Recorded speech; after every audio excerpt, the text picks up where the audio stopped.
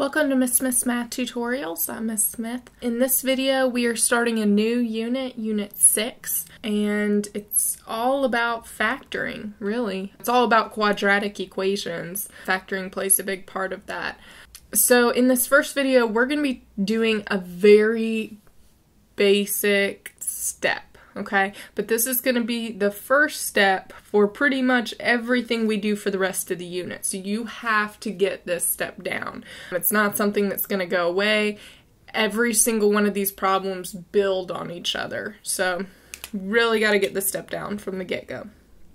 All right, so finding the GCF, which is what we shorten for the greatest common factor. So when given two terms, we want to be able to pull out the largest factor that both of those terms have in common. So with these three, we're going to be just pulling, just determining what would be the greatest common factor between two terms. And then over here, we're going to talk about actually factoring out the GCF. So first, let's just get the hang of finding the GCF. Looking at my first example, 12 and 90. So I need to figure out what is a number that the highest number, because we want the greatest one. What is the greatest number that goes into 12 that also goes into 90? I think the best place to start is with the smaller number and asking yourself, okay, so I know 12 goes into 12. 12 is the biggest number that can go into 12. Does 12 go into 90? And some of you might immediately say no, but some of us might not be sure, so let's test it out. You bring out your graphing calculator and you do 90 divided by 12. Okay, I see that I get a decimal, so I know it's not a, a factor. Um, it's only a factor if you divide and get a whole number. So let's think of the next lowest number that goes into 12. Um, or it might just help you to try to think of everything that goes into 12. So we know 1 and 12, 2 and 6, 3 and 4, and that's it. So let's try the next number down from 12, which would be 6. Does 6 go into 90? Well, let's bring out our calculator and check. So 90 divided by 6. And I see it does. That evenly goes into 90. So our GCF of 12 and 90 will be 6. That is their greatest common factor. Looking at number two, sometimes it's not always easy to just pull all the factors of something um, out off the top of your head. Okay, so I I can't say all the things that go into 104. Always good to make sure, start with the lower number, so 104, and say, okay, 104 goes into 104, right? Does 104 go into 112? And I know just using logic, it does not. Um, you could double check and just do 112 divided by 104, but you're going to get a decimal. So I'm going to have to figure out what are the factors of 104 what are the factors of 112 and see where um, they line up. So let me show you a trick of how you can use your calculator. Instead of just doing a ton of trial and error, there's a more exact way to figure this out. So you're going to go to your y equals function, which we should be pretty used to by now. And you're going to type in, I usually do the lower number. So 104 divided by x. This is a trick that you can use. Um, it'll really come in handy for factoring. All right, so second graph, this pulls up your table. And this shows me all of the factors of 104. So I'm going to scroll up to 1. So I see 1 and 104, 2 and 52. 3 would not be a factor because its corresponding y value is a decimal. So 3 would not be a value. Okay, but 4 and 26 would be 1. Let's keep going. So we're looking for those whole numbers. 8 and 13. And then you'll notice we have 13 and 8. So once you repeat itself, so we had 8 and 13 and now 13 and 8, then you're done. You know you've seen all the factors. So I want to start with maybe just noting some of these down. Okay, so I know 1 and 104 let's say 2 and 52. I'm just going to note over here 2 times 52, 4 times 26, and we said 8 and 13. So I want to figure out what is the highest number in all those choices that would also go into 112. So what I'm going to do, out of there, um, I'm going to start with the largest one, so 52. I'm going to do 112 divided by 52. All right, it's not a factor. Get a long decimal. Okay, let's go to the next number down, 26. 112 divided by 26. E, that's not a factor either. All right, what about 13? Nope, keep going down. What about 8?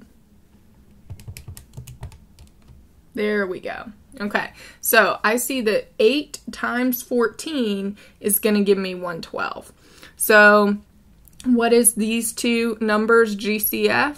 The GCF is 8. That is their greatest factor in common.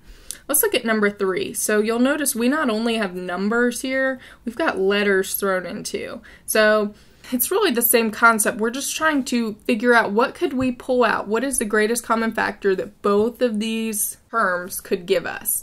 Let's start with the numbers. So I've got 20 and 40. Well, I know 20 goes into 20. And I know 20 also goes into 40. It does twice. So I can already say the GCF number is 20. All right, but now I gotta worry about my x and y too. So looking at just the x, this term has one x, okay? That's an x to the first, okay? And this one has one x, x to the first. So what is the greatest common factor in there? it would just be 1x.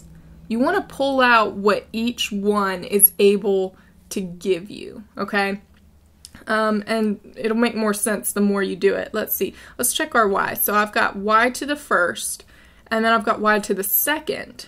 So again, I want the greatest, it's got to be the same thing I'm pulling out of each one, and I want the highest number I can do from both. So this one can only give me a y. That one could give me two Ys, but this one can only give me one. So therefore, the greatest thing I can pull out is just one. And that confuses a lot of students. They don't understand. They're saying, why, why am I not pulling this y squared out? That one has more. But can this one give you y squared? No, it's only got one y to give, so it can only give you what it has. So in this case, we would have a leftover y up here. We'll get to that concept in a second. Okay, so that is just figuring out what is the GCF of terms. All right, let's come over here. This builds onto that step a little bit. So now we not only want to determine the GCF, we want to actually factor out the GCF from the given expression. All right, so how this works is first thing I need to do is, is find out what is the GCF. So we're kind of just doing this first step. So let's look at my numbers. I've got 30 and 90. Okay, I know 30 goes into 30. And I know 30 also goes into 90 three times, right? So I can go ahead and say, all right, my number is going to be 30. That was fairly easy. All right, and as far as my x's, this one's got 1 and that one's got 2. So what is the most I could pull out? It would just be 1. Now that we've determined the GCF, I want to, in parentheses, rewrite the original equation having taken this out. And the way I do that, literally what I'm doing is I'm dividing out that GCF from each term. That's literally what we're doing. We're dividing it out. And we're going to put what we have left in the parentheses. So what is 30x divided by 30x? Well, that would just cancel, right? The 30 and 30 would cancel, the x and the x would cancel, so we would just have 1, 1 left. What about negative 90 divided by 30? Well, that would be negative 3. And what would x squared divided by x be? So you there's two ways to think about this. You can say, okay, well, I'm dividing with exponents, right? And when I divide with exponents going way back to unit 1, I would take the top exponent and subtract the bottom exponent. So 2 minus 1, all right, which would just be 1. You can think about it like that, or some students prefer to think about it like, okay, I had two x's, I'm pulling one out, how many do I have left? Which is really saying the same thing, it's just kind of making it a little more simple. Um, some students prefer to think of it that way. Okay, so this would be the GCF factored out of the equation. If I were to distribute that 30x back into the parentheses, it should give me back the original equation. So that's a way you can kind of double check yourself to make sure you've done it right. All right, let's look at a little, little more complex example. This one has three terms. So starting with just the number, let's see, I've got 3, 21, and 24. Save yourself some time, just start with the lowest number, so 3. I know 3 goes into 3. Does 3 go into 21? Yeah, 7 times. Does 3 go into 24? Yeah, 8 times. So I know 3 is going to be my GCF number. Now let's look at the x's. This one has x squared. This one just has 1x. And this one has 3 x's. So what is the most all of them can give me, but it has to be the same one being pulled out of each? Well, that one only has one to give. So all I can pull out is one. Even though that one has two and that one has three, this one only has one to give. That's the most we can pull out. What about our y's? So I've got y squared, y cubed, and y to the second. So the most this one could give me would be 2. The most this one could give me would be 2. The most that one could give me would be 3, but it has to be the same number being pulled out of each. So the most I can take out is 2. All right, so now let's build in what we have. Now that we fact we figured out the GCF, let's actually factor it out and list what we have left. So literally what we're doing is dividing out this 3x y squared.